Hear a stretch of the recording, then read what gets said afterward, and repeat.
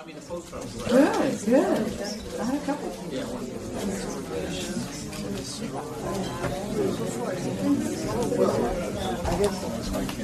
I've been traveling too, I haven't just thought about it. I didn't think I. Not that I would. That's, I'm not gonna, more of the work in such way that I can. I know, but it's more, than- it's just like, oh, you're gonna.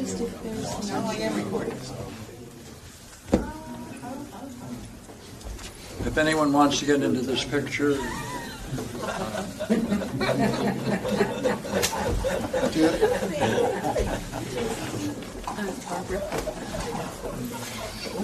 Look at everyone joining again, twice in one evening. God. Last trip, we did uh, the metaphysical side of the three primal hypostases, four, five, six, seven, eight. And I thought since we may not have anything else to do, I wondered whether doing this might be of interest to you. How Plotinus views the self and Plato for an insight into the divine, that that is based upon his reflections and meditative practice. Would that be interesting to trace out, or? Yes, Yes. yes. Wait a minute. If Ingmar says yes, that counts, doesn't it? Mm-hmm. I like it. I said it twice, too. Twice, that matters. Right. If that's the case, how should we proceed? Ingmar should read. Uh-oh, The right answer I was is gonna, into the book. not, I was not gonna ask for the honor. But since it's been raised, I won't decline. What would- So what would this be? Um, on going out of the body? Or what is it? Okay. I to get the book. I suspect Sandy. Chad Arthur.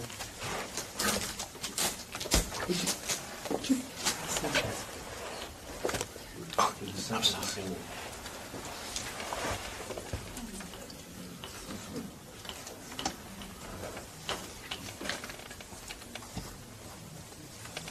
How about that?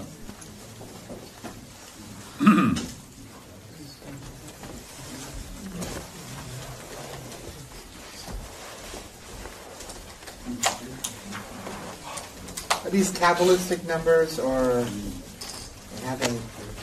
Capitalistic. Oh, good, good. That's kind. So, see, he's going to take what he built here, which is really the discussion of the metaphysics in the first couple of departure points, and then he's going to build. and it's going to get us in a curious place because his view of Plato is essential. And he's drawing from the Timaeus. And I had it in a very good authority, let me assure you, on a real good authority, that the way to read this section is perhaps later to go back over Proclus's commentary on the Timaeus to take a look at section 37. Right, of course, the whole issue of the soul, but especially up to thir- Stephanus number 37. Now, I was, I was present in the discussion, and uh, that point was made, so I'm passing it on to you, because the uh, people... Who's the good authority? Pardon? Who's the good authority? I've been asked not to reveal it in public unless I was asked. Well, that was a question Oh. that I just, yes. Juan and Marie, All right. right? Therefore, why don't we jump in and take a look at 10? Right. So we're going to pick up the idea of being in the one from his metaphysics that we looked at last time. and proceed. So, uh, as usual, uh, what we need is someone who's willing to work. Oh, uh, David, Oh, thanks, dear. uh, I was going to give you this so you can look at the Greek as well. Okay, good. Oh, well, wait a minute. Uh, You need another Got don't you? Wait a minute. Anyone got another Plotinus? No, so I have Thomas Taylor. Well, let's use this first. How about Thank you. This is an old one. It's, this is one they used to sell them for uh, 95 cents. I'll look for the Greek. Okay, take them both.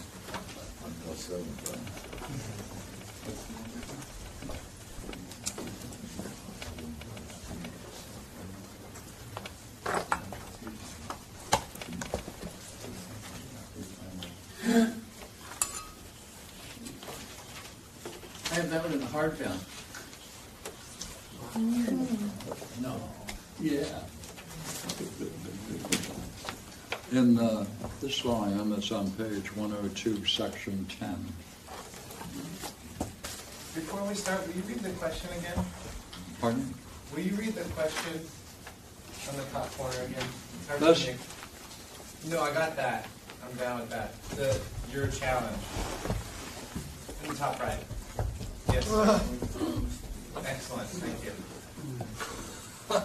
How Plotinus views the self and Plato for an insight into the divine that is based upon his own reflections and meditative practice.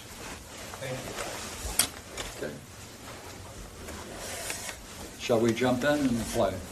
Okay, David, you got it? Well, you mean on page one oh, 102 in this. I hope it's there too. that beyond? Yeah, Are you are you inviting me to read? yes, please. Oh.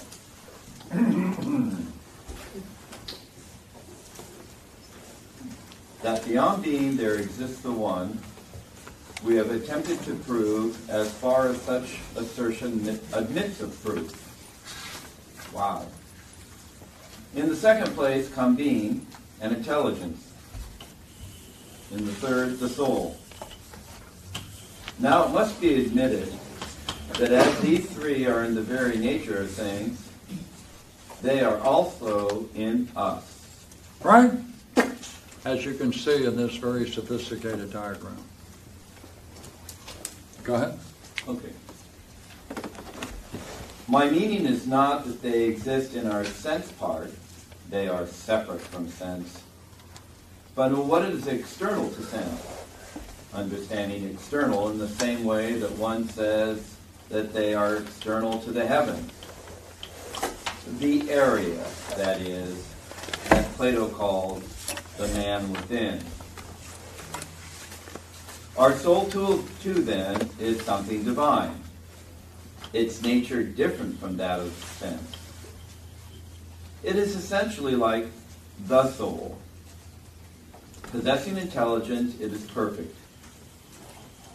It is necessary to distinguish between the intelligence which reasons and that which furnishes the principles of reasoning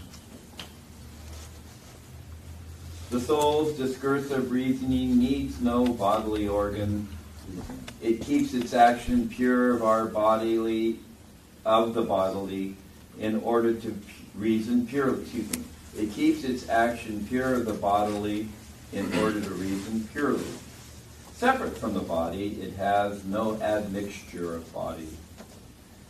It is no mistake to place it in the first degree of the intelligible. We need not seek to locate it in space, it exists outside space. To be within oneself and exterior to all else and immaterial is to be outside body and the bodily. That is why Plato says, speaking of the cosmos, that the demiurge has the soul envelop the world from without. His meaning? A part of the soul remains in the intelligible realm. Thus, in speaking of uh, the human soul, he says, it dwells at the top of the body. When he counsel, when he counsels separation of soul from body, he does not mean spatial separation such as is established by nature, but that soul must not incline, incline towards body, even in imagination, but must alienate itself from body.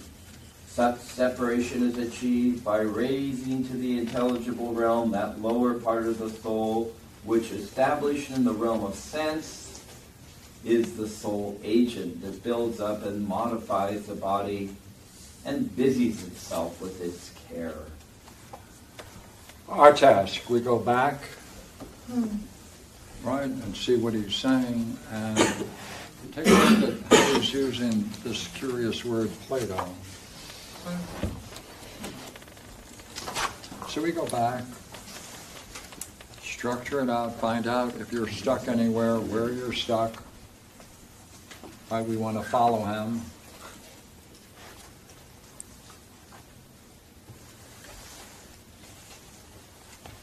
Would you agree to begin with, when he worked out degrees of reality, his metaphysics, the highest, the one, the nature of being and intelligence, the soul, is now all of it together within us. Ah, therefore, hmm, is it possible then that it's out of a practice that he has undergone that he discovers these things and then makes the assertion therefore that these things exist in their own in their own way in their own right. Is that curious? Is it possible that his metaphysics emerges out of his psychology? Is it possible that out of his psychology which is the result of a certain practice using those two things he develops finds something to so important to him he can make distinctions within his own practice and say, ah, that's also the nature of reality. It exists, these exist by themselves. Do it again. Is it possible that within oneself one can discover one, two, three, discover that the soul therefore is divine, four, therefore capital T, world soul, not just individual soul. When he uses capital T, it's not just individual, but world soul. And in that, he can then see that therefore it must be, and necessarily, perfect. Oh, then he makes the last step. Hey, you know what?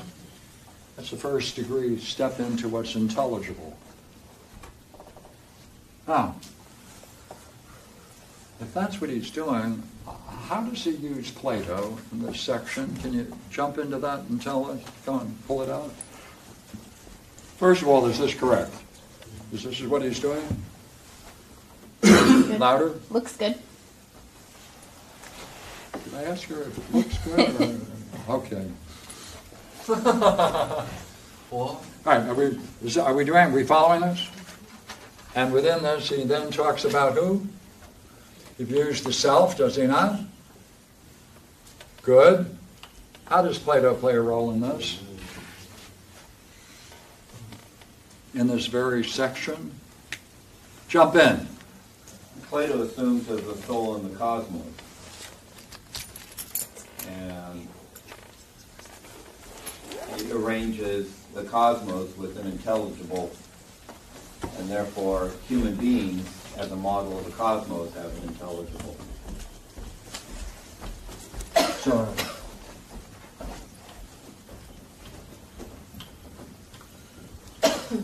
this being is nothing other than a model of the cosmos taken as a whole. Oh, oh.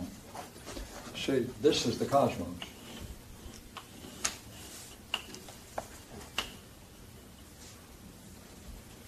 Being.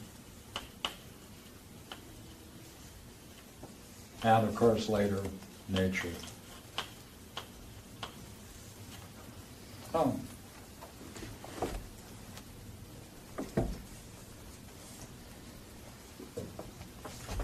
What's What's the significance of the term without, from without, in this one section? Can we go, jump into that?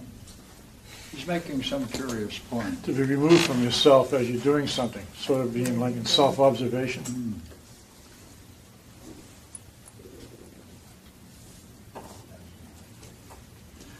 His, notice what's nice about the text is that we can answer the question from the text, which is a good way of getting the money's worth. Does he have a line there about Plato? Yes. Does he explain it? Yes. Does he give what he thinks is his meaning? Yes. Agree? His meaning. Well, he says Plato means a part of the soul remains in the hmm. intelligible realm. Hmm. Like puppets. You see, before he had it here, now he's saying the soul participates, the soul participates in the intelligible. This is the intelligible. Therefore, the soul participates in it. A participation. Oh. Not only that, a part of the soul, capital T, this is world soul, the whole world soul, remains in the intelligible realm. Therefore, the human soul, huh? It dwells at the top of the body. Because obviously this is. Now, of course, this is a fathead. See, Rembrandt did laugh at.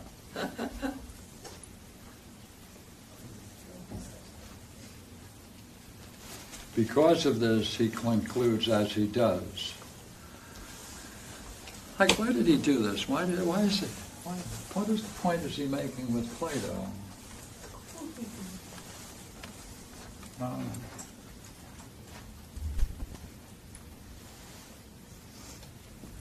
let's ask this. To make sense of this, to, to show that this might be the case, we have to see how he came to that conclusion. I guess we have to go somewhere else, either into the Timaeus, or to hold our breath and see whether he makes it clearer as we go on. Agree? Huh? It's up here. Look, see, um,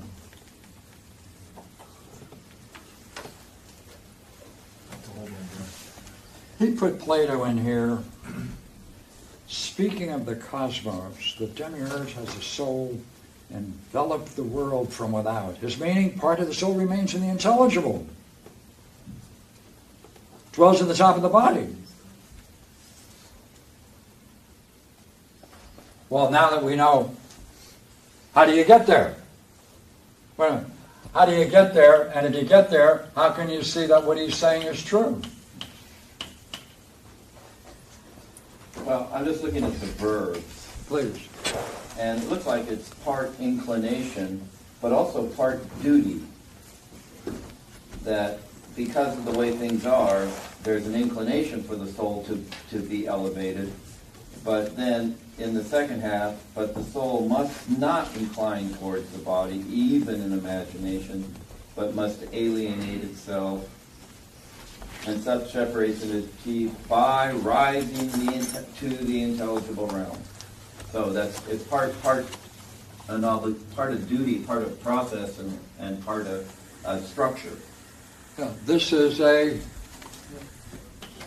practice. Oh, This is something to do. And see, he's in this section on this strange guy. He's concluding about from Plato. This statement, therefore, presupposes, therefore, that there should be a separation from the two. Hmm. Well, didn't uh, Plotinus, Pardon me? didn't Plotinus think that there was one, and Plato um, had thought that there was uh, two, or, um, let's see. Where did I write? See, Yeah, look, stay with the quote, okay? Stay with the Oh. quote. Such separation is achieved by raising to the intelligible realm the lower part of the soul. Got that? Right. Now, for anybody into Plato, this clearly is a reference to Plato's Phaedo. Phaedrus. Right. Dope. Phaedo. 60, what is it, 68, or s- somewhere like that? Anyone have Plato? Dialogues of Plato? I didn't bring it. I have it in my car. Anyone have a copy of Plato's dialogue? Phaedo, I got it here. Yeah. Also, in the Thomas Taylor trans, uh, trans, Taylor That's- translation, he says Phaedo. That's, that's it. Okay. See if this fits.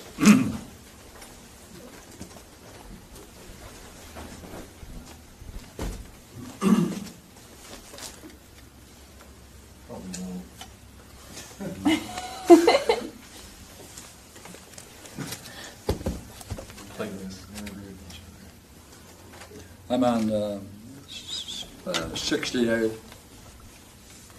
Stephanus. Now, this is what he means by purification. See whether purification is a practice. See whether the practice he descri- that he describes in the purification matches precisely the last section I just read. Right? Okay? 68. And is not purification really that which has been mentioned so often in our discussions? To separate as far as possible the soul from the body. Uh, and to accustom it to collect itself together out of the body in every part and to dwell alone by itself as far as it can, uh, both at the present and in the future, being freed from the body as if from a prison. Now he calls this philosophical death. Right? This is the this is what philosophy is. And to set it free, as we say, is the chief endeavor of those who rightly love wisdom. And those alone, and the very care and practice of the philosophers is nothing but the freeing and the separation of the soul from the body. Don't you think so? Now, is that a practice? Yes. All right, go back into, see, you take the two. Uh, such separation is achieved by raising to the intelligible realm that lower part of the soul, which is uh, established in the realm of sense or the body. That's the soul agent field building up and modifying the body. Is that what he's doing?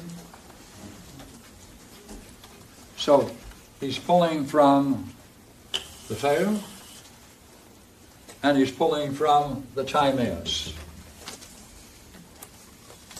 If so, then we need to know more about.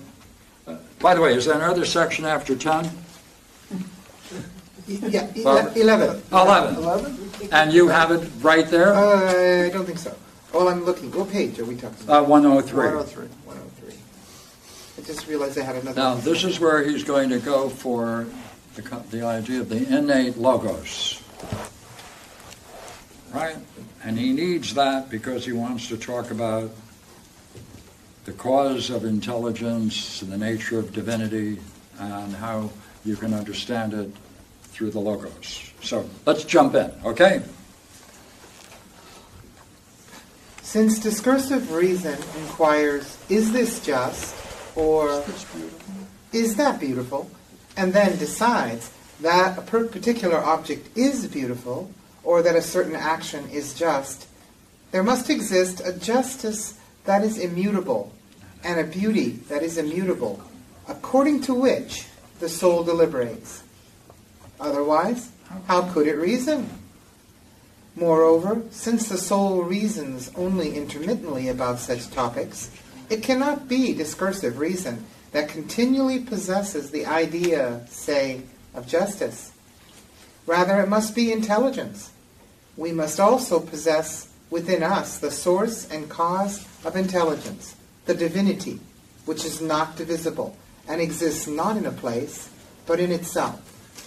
Not in a place, it is found in that multitude of beings capable of receiving it, just as if it were divisible, quite as the center of the circle remains in itself, while each of the points of the circles contains it, and each of the radii touches it. Thus we ourselves, by one of our parts, touch the Supreme, unite ourselves to it, and are suspended from it. We establish ourselves in it when we turn towards it. Okay, Isn't this quite amazing, the way he proceeds with such simplicity and builds an argument in, in such a simple and direct way?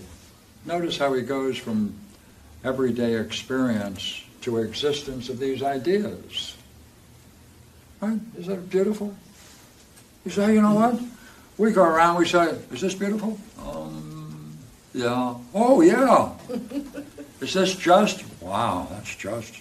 I'm not sure it's just. Could be. Hey, wait a minute. Uh, what's the standard you're using? Must there not be a standard you're using to make those judgments? Huh? Must exist some idea. Must exist some idea of justice.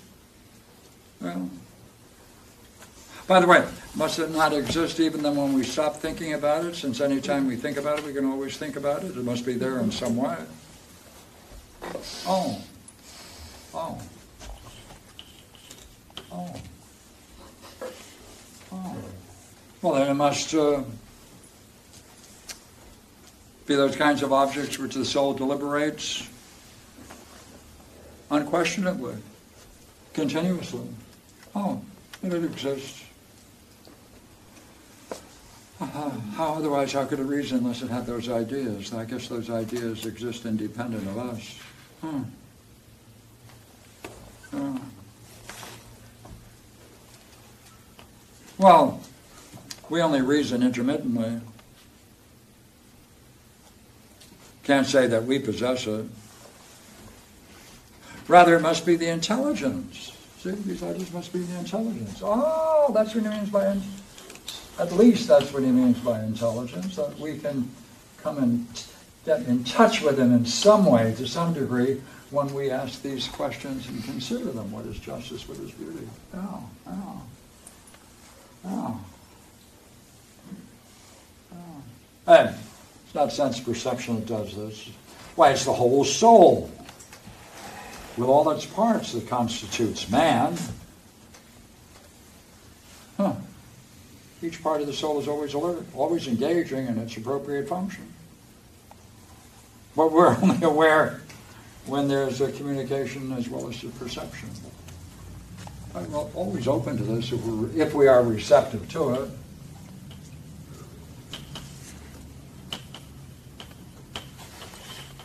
And when we are receptive to it.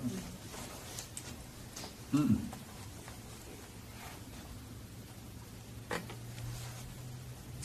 Well, uh, say, look at that last paragraph. Yeah. Uh, care to do it, Barbara? To grasp what that which is, is that one the one? No, no. To grasp what is within us, we must turn our perceptive faculties inward, focusing their whole attention there. So when you're doing that, what do you have to do? You have to Put your full attention there. That's fine. Fine. I'll be darned. Go ahead.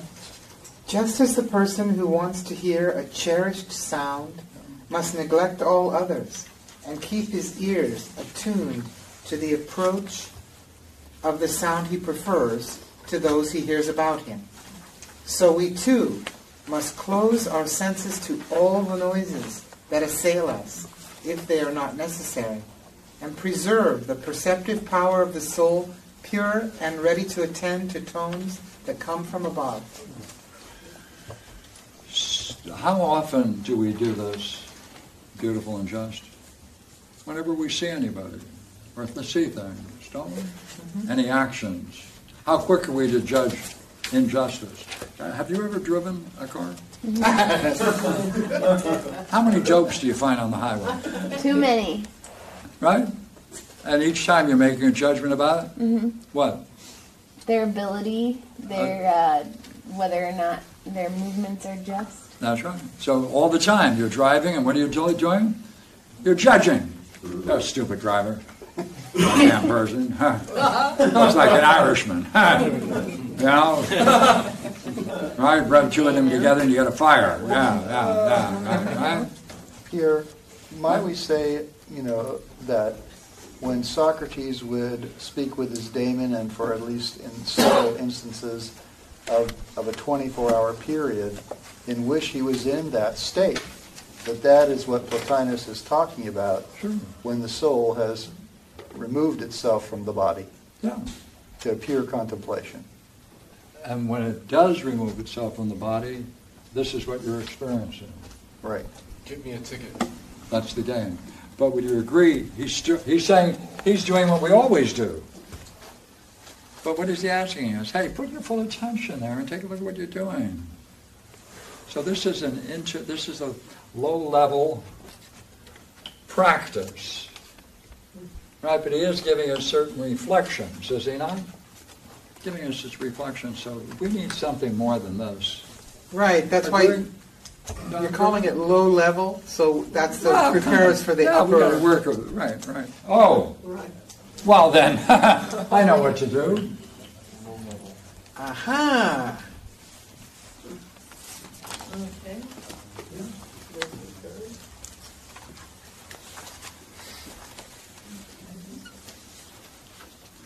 Uh, Are you equally good for going further?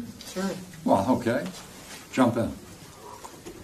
So divine and precious is the soul, be confident that by its power you can attain to divinity. Oh, gonna get more. Go ahead. Start your ascent. You will not need to search long. Few are the steps that separate you from your goal. Take as your guide the most divine part of the soul, that which borders upon the superior realm from which it came. See, he's here. Right, he goes back to this image that we talked about before. Go ahead. Indeed, in spite of the qualities that we have shown it to have, the soul is no more than an image of the intelligence.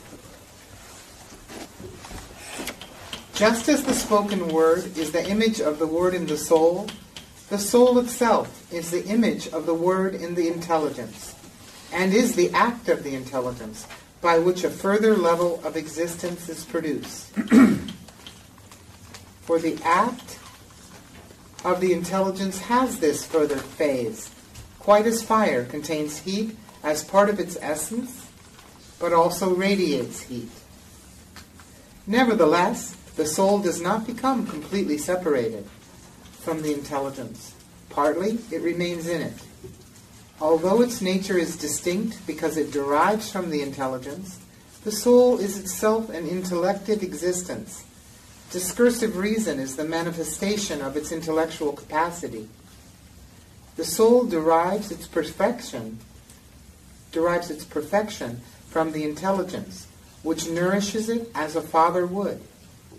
But in comparison with itself, the intelligence has not endowed the soul with complete perfection. Thus, the soul is the hypostasis that proceeds from the intelligence. Its reason finds its actualization when it contemplates the intelligence. So contemplating, it possesses the object of its contemplation within itself as its own, and it is then wholly active. These intellection, intellectual and interior activities are alone characteristic of the soul. Those of a lower kind are due to an alien principle, and they are passive rather than active experiences for the soul. The intelligence makes the soul more divine because it is its begetter and grants its presence to it. Nothing separates the two, but the difference of their natures. The soul is related to the intelligence as matter is to idea. But this matter of the intelligence is beautiful. It has an intellectual form and is partless. How great then must the intelligence be if it is greater than the soul?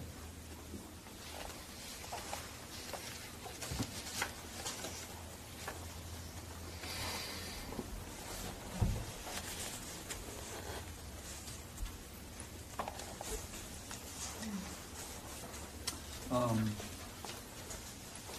You got something curious here, don't you? Um,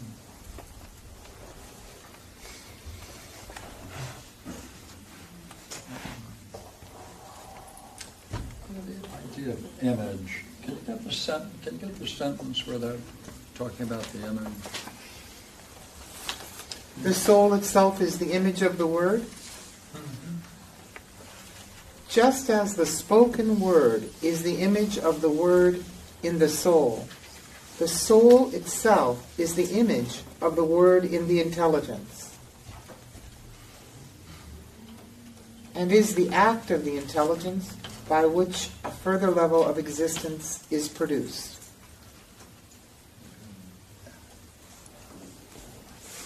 So, how would you describe the relationship between the image and its object?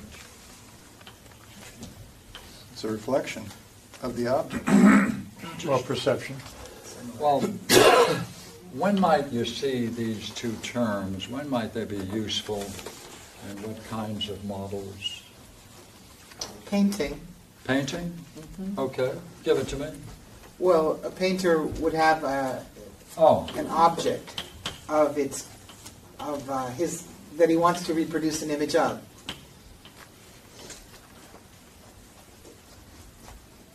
Now most people lack the, the uh, skill in anatomy that I show. And please ignore the fact that all my figures are nudes. That's a Greek tradition. It is kind of distracting, though. Now, I, I know it's distracting. Okay, now look at, why is, what does this mean? What does this mean? Now, this is a controlling image. There's several controlling images. Uh, is there something that is lost when it goes from here to here? absolutely.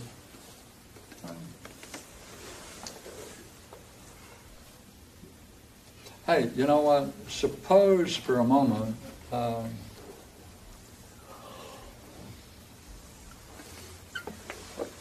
just deal with this possibility. What if, um, what if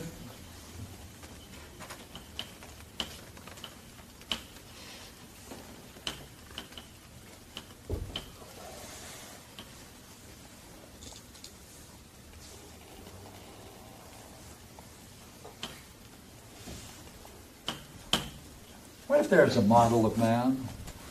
Now, I'm going to use the word model. I want to take that out.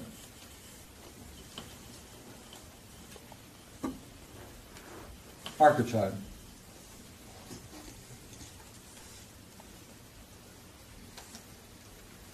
Uh, would that mean then that uh,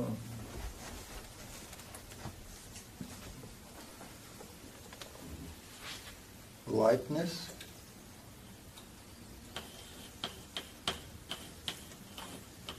would this be perfect? No. Would this be perfect if it's the uh, archetype? Hmm.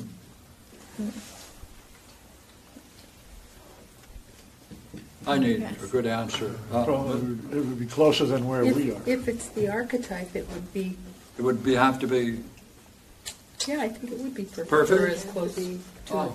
perfection as could be. uh, source, It's the then this would be An image of it. an image. I see, I see, then this would be an image. And this would be its object or model, is that right? Now, the word model works in two ways, so let me not use that word. Right? uh, let's call it a source object. And we're still dealing with image and object, are we not? Uh, by the way, did the object turn into an image? Oh, could this be uh, An image? an image? Indeed. And then that means there must be a, uh, Something more perfect? Further source object or there must then be a, uh, Even better one. source of the source. uh, all archetypes into a unity, of which this is only one? Okay. Or the union of all archetypes? And therefore its source? Then this would be what? The one? Model, and then what happened to our other uh, model? Uh, It became a, It becomes an image. oh, Are we, are we doing a regression here?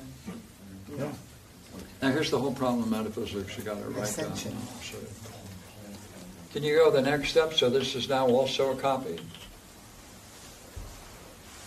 That's it? Mm-hmm. Mm-hmm. Well, what I, what I'd like you to, to play with just for a moment is, what is lost in each successive passages? Something is retained, is it not? I mean, something is retained. But something is lost at each step. Is it possible then that the whole metaphysics is nothing other than model, copy, copy, model, model, model, copy, copy, model, model, model, copy, all, all the way down? Mm-hmm.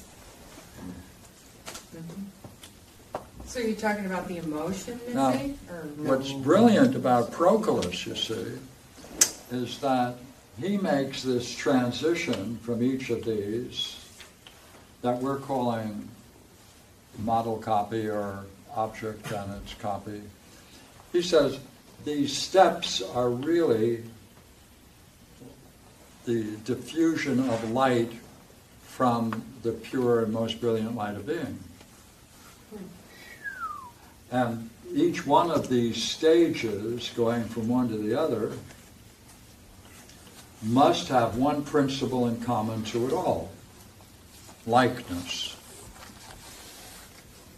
Ah, if so, then the controlling idea in his metaphysics is likeness. Right? Categories of copy model. Oh, by the way, that's likeness, isn't it? Right? I mean, if that went, if the very idea of likeness were be were to be nullified, then you couldn't have a relationship between model and copy, could you? No. No Oh, likeness. Therefore, the more no primary idea must be the masterful idea of likeness. Hmm. And unlikeness, because anything that's like also has an unlike. Oh, then, then these would be the forms, is that right? Or uh, Mm-hmm. Platonic forms? Oh.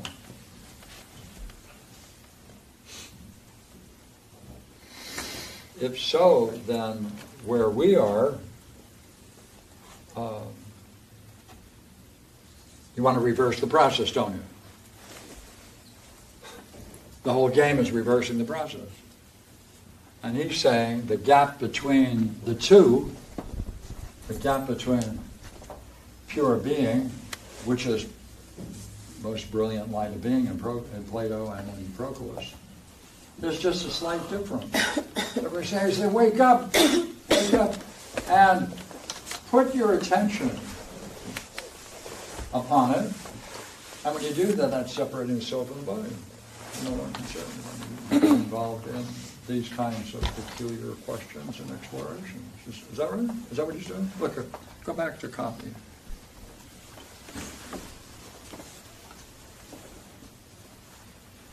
See, he even puts in the idea in the soul of reason functioning, so he gets within it another model copy, doesn't he?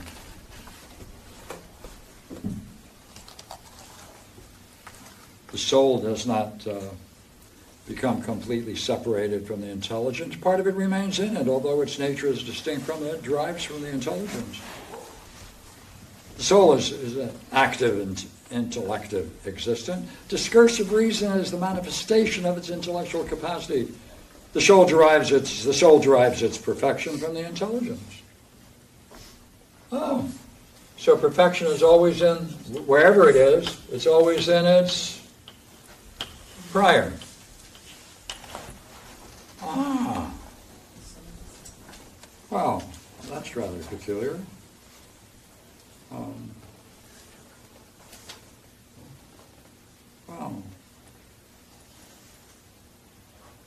I guess we need to know more about his reflections to see if we can make this clearer, especially on how to make this transition from where we are to our prior. Is there another section before three? Two. Oh, good, good.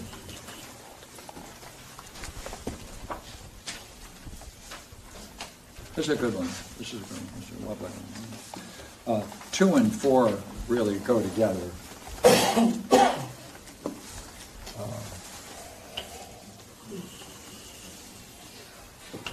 As you probably have seen. So, let's do two. All right, Who wants to play with two? Thank you.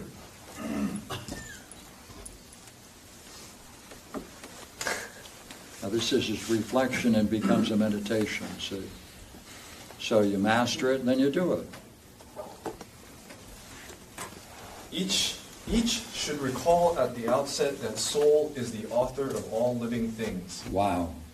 has breathed life into them all on earth, in the air, and in the sea, the divine stars, the sun, the ample heavens. It was soul that brought order into the heavens and guides now its measured revolving. All this it does while yet remaining transcendent to what it gives form, movement, life. Necessarily, it is superior by far to them. They are born or they die to the extent that soul gives or withdraws their life. Soul, because it can never abandon itself, exists eternally. Okay, this is a beautiful restatement of the Timaeus, uh, which we can easily get into since it's only by 28 to 37 between the two. Okay, jump in. Now, to understand how life is imparted to the universe and to each individual, the soul must rise to the contemplation of the soul, the soul of the world. The individual soul, though different from the soul, is itself no slight thing. Yet it must become worthy of this contemplation. Freed of the errors and seductions to which other souls are subject, it must be quiet. Let us assume that quiet too is the body that wraps it round. Quiet the earth, quiet the air and the sea, quiet the high heavens. Then picture the soul flowing into this tranquil mass from all sides, streaming into it, spreading through it until it is luminous, as the rays of the sun lighten and gild the blackest cloud. So the soul, by the soul, by entering the body of the universe, capital soul, gives it life and immortality. The abject it lifts up. The universe, moved eternally by an intelligent soul, becomes blessed and alive. The soul's presence gives value to a universe that before was no more than an inert corpse, water and earth, or rather darksome matter and non being.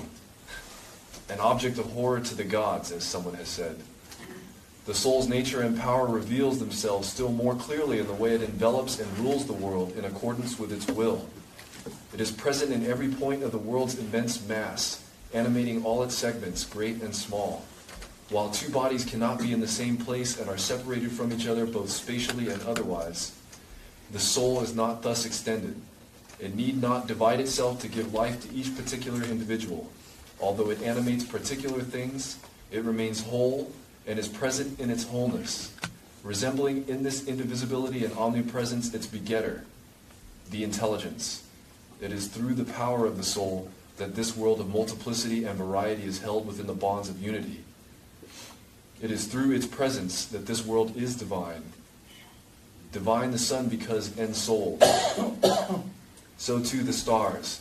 And whatever we are, we are in its we are on its account. For a corpse is viler than a dunghill. The deities owe their divinity to a cause necessarily their superior. superior. Our soul is the same as the soul which animates the deities. Strip it of all things infesting it, consider it in its original purity, and you will see it to be of equal rank with the soul, superior to everything that is body. The body without the soul is nothing but earth. If one make fire the basic element, one still needs a principle to give life to its flame. It is the same even if one combines earth and, and fire or adds to them water and air as well. If it is soul that makes us lovable, lo- pardon me, if it is soul that makes us lovable, why is it that we seek it only in others and not in ourselves? You love others because of it. Love then yourself.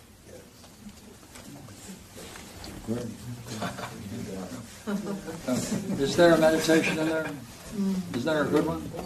Yeah, that's what That is the meditation. Okay, look at it, okay?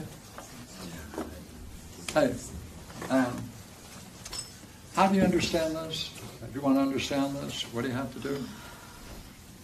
Learn Greek. Get nuts.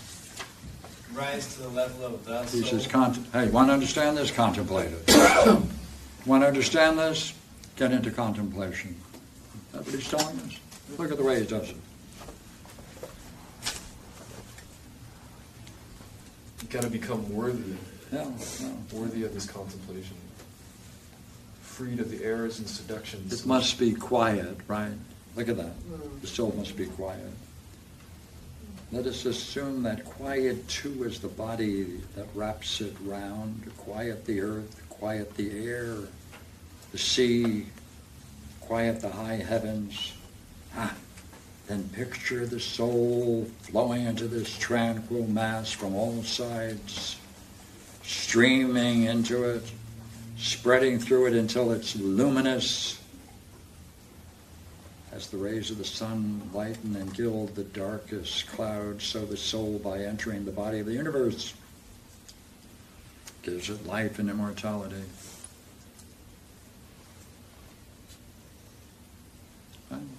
Hey, do that, you know what? Then you'll see the universe is moved eternally by an intelligent soul. It becomes blessed and alive. Soul gives uh, value to the universe.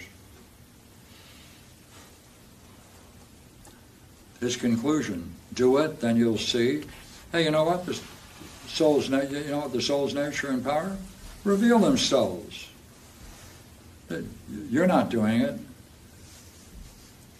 The soul's nature and power reveal it, reveal themselves still more clearly in the way it envelops and rules the world, according to its will.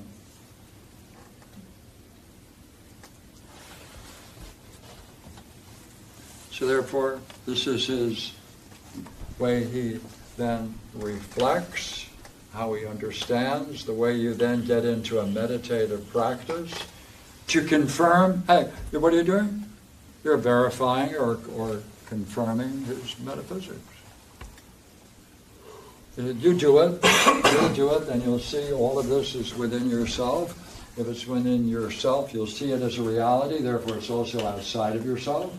Therefore, not necessarily outside of yourself. It exists in its own right, whether it's in you or not. Outside, inside, doesn't make any difference. Ah, what's that called? Understanding for him. This is the way to understand the system. Do it. So therefore, he's inviting us, is he not? Hmm.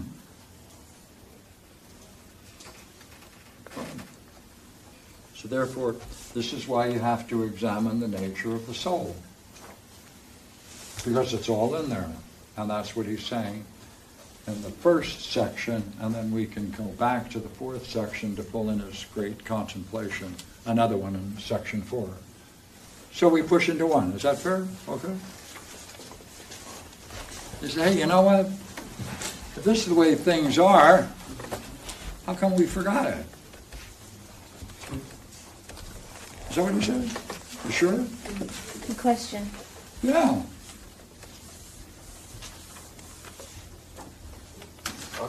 Well, this is a sorry state of affairs. How is it then that the souls forgot the divinity that begot them, so that divine by nature, divine by origin, They now know neither divinity nor self. This evil that has befallen them has its source in self-will, will, in being born, in becoming different, in desiring to be independent. Once having tasted the pleasures of independence, they use their freedom to go in a direction that leads them away from their origin. And when they have gone a great distance, they even forget that they came from it. Like children separated from their family since birth and educated away from home, they are ignorant now of their parentage and therefore of their identity. Our souls know neither who nor whence they are, because they hold themselves cheap and accord, and accord their admiration and honor to everything except themselves. They bestow esteem, love, and sympathy on anything rather than on themselves. They cut themselves off as much as may be from things above. They forget their worth. Ignorance of origin is caused by excessive valuation of sense objects and disdain of self. For to pursue something and hold it dear implies acknowledgement of inferiority to what is pursued. As soon as the soul thinks it is worth less than the things subject to birth and death, considers itself least honorable and enduring of all, it can no longer grasp the nature and power of the divinity. A soul in such condition can be turned about and led back to the world of, oh, excuse me. A soul in such condition can be turned about and led back to the world above and the supreme existence, the one, the first, by a twofold di- discipline, by showing it the low value of the things it esteemed at present, and by inform- informing, reminding it of, the, of its nature and worth. The second discipline precedes the first. Once made clear, supports the first, which we shall treat elsewhere rather fully. Uh, rather fully. The second must occupy us now, particularly as it is a prerequisite for the study of that supreme object we desire to know. It is the soul that desires to know. Therefore, the soul must first examine its own nature in order to know itself and decide whether it is capable of such an investigation, has an eye capable of such seeing, and whether such seeking is its function. If the things it seeks are alien to the soul, what good will its seeking do? But if the soul is akin to them and it seeks them, it can find them. So his object is to show you that the soul is akin to the very things you're seeking. That's his goal. Okay, then I'll give you his reflections. Ah. Oh. Interesting uh, piece of work. Why are we skipping four? Pretty nice translation. Oh, well, I like four, that's right. Actually, the first two paragraphs. The Greatness of the intelligence may also be seen in this. See, now he's moving to the intelligence. We marvel at the magnitude and beauty of the sense world, the eternal regularity of its movement, the divinities, visible, invisible, that it contains, its daemons, animals, plants. Let us then rise to the model of, to the higher reality from which the world derives. And let us there contemplate the whole array of intelligibles that possess eternally an inalienable intelligence and life. Over them presides pure intelligence, unapproachable wisdom. That's Chronos. That world is the true realm of Chronos, whose very name suggests abundance and intelligence. There is contained all that is immortal intelligence and divine. Now, that's the place of every soul. So tell me, what do you think of the guy? Brings you into it and makes you want to get into it. Shames you for not doing it. That's a translation. Yeah. The guy's a genius, isn't He's he? No. This is a, yeah. This is a good translation too. Therefore, we can expect similar work from people that we know. By the way, do you know any Greek? S- Yeah, I'm going to translate this entire work. You what? I'll have it done by next Friday. Okay. You gonna do one? I'm, I've already started, so. You have? Yeah, Which, which one? This one. Oh, good. How do you find it? It's great. It's simple too. It's very. Could you tell us what you see in terms of what our author is doing? O'Brien? Yeah, You can he's see what you're doing with the Greek, I presume, so. What's that? Then you have a nice insight in how O'Brien is translating. no. Yeah, but I, I mean, yeah, just a little bit. Just a little bit that I looked at tonight. No, you do it loud. I just looked at a few of the lines that we've been looking at tonight, and so I can't say, you know, that I'm sort of We can expect more though next week, can't we? grasping Oh, yeah. all of Is it. it, wait a minute, is that fair? I think To it's make very it- fair Yeah. to do that. Yeah, the whole week, seven days, come on. Oh, thank you. Brad, what did you say? I was just um, congratulating Ema on his new assignment and project. Thank you, brother. What do you see in the Word? Want to go back to some section? Um, it's amazing to me how short and simple and profound it all is. Pretty robust too. Yeah, How about yeah. short? Isn't it? Yeah, it's, and so simple and, and spurring. Yeah. Oh. That means therefore he must be pretty familiar with the things that he's talking about. Can reduce it to such pure simplicity, represent it with such clarity. Yeah, really beautiful. It's kind of matter of fact, like, hey, stupid, listen to what I'm saying. Yeah, It's by the way, it's, uh, it's it's only, you're only just a short distance away from what we're talking about. Yeah. Did you forget it? How did you forget it? Oh, that's right. So it's like, it's like di- didactic in that way, right? Like, like he's s- speaking immediately to the reader's soul. Right? He's like, hey, just a little bit a while, like a, like an elder brother or something, you know, or Yeah. kindly father. Yeah. He's being a master, in other words. Oh, yeah, you were jumping in. Oh, uh, I was, you know, thinking about the, the business of, of remembering Yes. and the, the issue that the facts of human physiology in relationship to the child's ability as they grow to have the capacity to do this would seem to me to have some influence on the issue of remembering.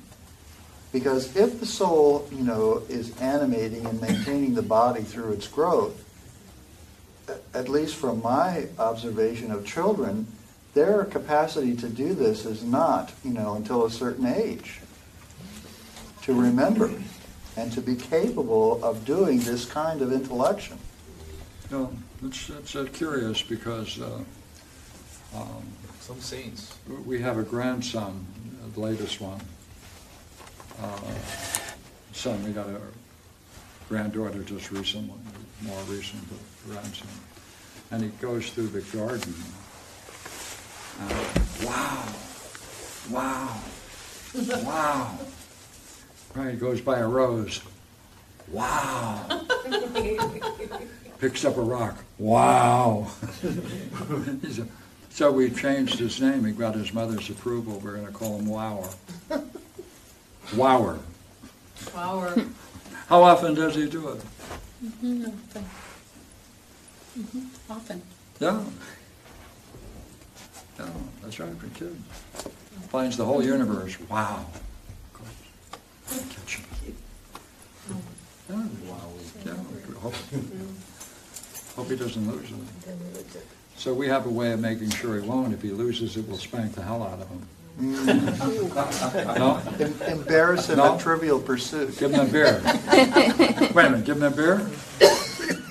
Better than spank. No. okay. Come on, what else is there?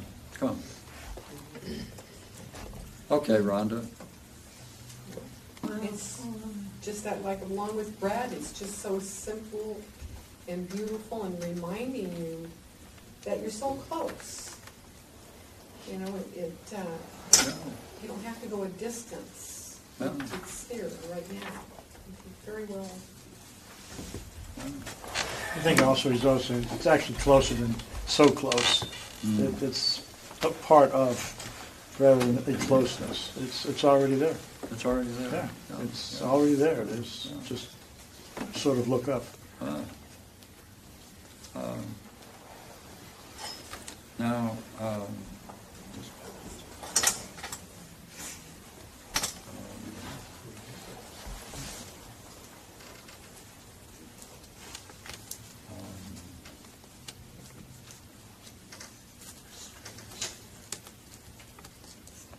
we need really, uh, we need a break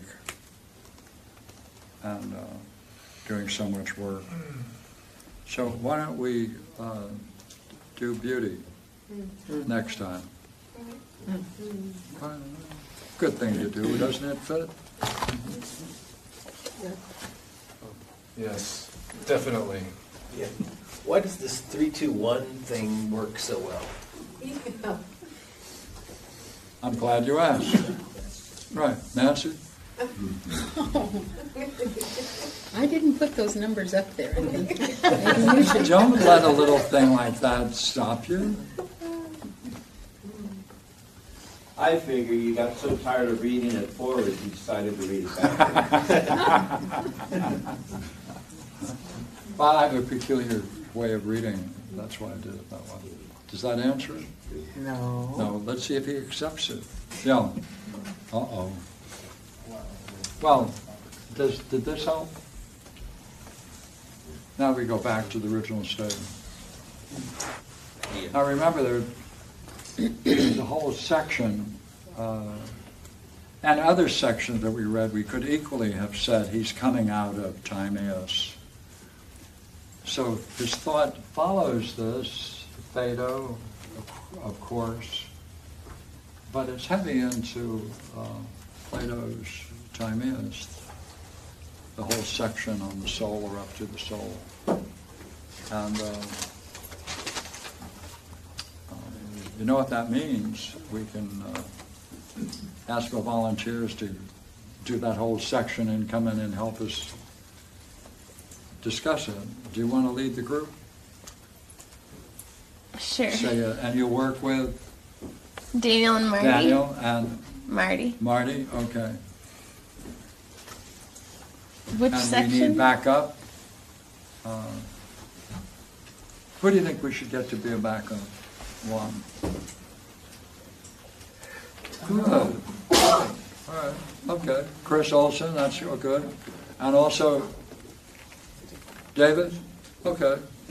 I didn't Brad? suggest it, he did. On beauty, Yeah, I'll do my best. this is made for you, isn't it? Isn't that great? Okay, let's take a break.